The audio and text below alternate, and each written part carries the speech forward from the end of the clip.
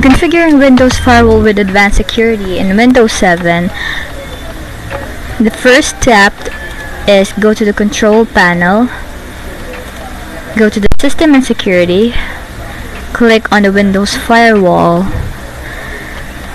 To turn your Windows Firewall on or off, click here, and there you can turn your Windows Firewall on or off.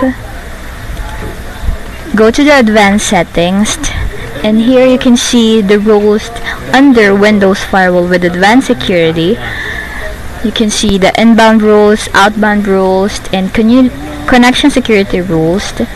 And here you can check the rules that you want to allow. And also here in the outbound rules. And that's it Another step in configuring Windows Firewall with Advanced Security is searching the Windows Firewall in the Start menu search box and click on the Windows Firewall with Advanced Security. Here you can see the rules under Windows Firewall with Advanced Security, the inbound rules, outbound rules, and the connection security rules. And then you can check the rules that you want to allow or enable.